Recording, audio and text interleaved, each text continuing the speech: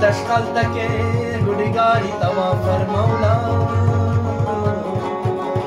जे आतश के गुड़िगारी तवा फरमौला उन्हें मोहब्बत मिले और शमसी से परवाना मया।